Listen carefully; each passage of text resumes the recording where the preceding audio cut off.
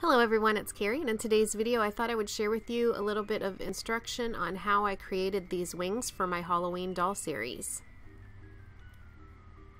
So each wing is different. I had made four dolls for Halloween and created a different pair of wings for each doll. And I took this sort of, it, it was from the bead and jewelry area of a craft store. I purchased this black wire. It's a thick gauge wire that holds its shape. And I took that and created a wing, and then I would use the first wing that I bent into shape as a pattern for the second wing. And then I attached both to a button to hold it secure. And then I used this Tim Holtz paper, a different sheet for each one. It's the Tim Holtz Idea-ology paper stash from, I think it's 2017 it's their Halloween series, and it's beautiful paper, very unique, antique looking, and I use it for a lot of stuff. So I cut a piece of paper that I using the wing as a tra to trace the pattern onto the paper. I cut a piece for the inside of each wing, and then I coated it with this Mod Podge Dimensional Magic.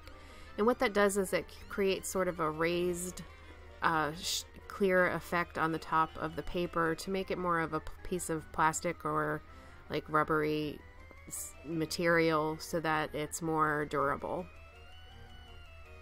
And then I center it, well prior, prior to doing that I popped holes around the edges with this little hole punch. It's more of a jewelry hole punch for metal but I used it to pop these holes around the edges about a quarter inch apart it's by Beadsmith and it's just a small hole punch. And the supplies that I used for this video will be in the description box below if you want to check those out along with affiliate links. So I centered the piece of paper in the center of the wing and I stitched around the outside.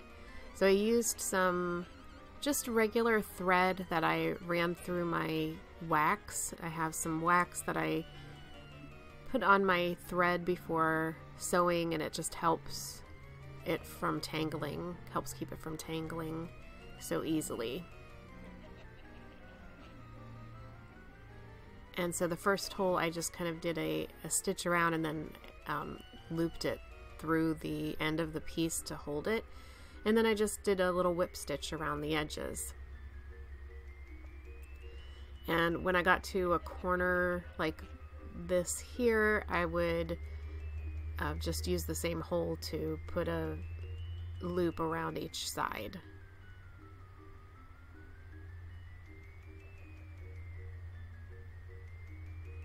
So once I stitched it all around, I added a magnet with some super glue to the back of the costume and then a magnet onto the button in the center of the wings.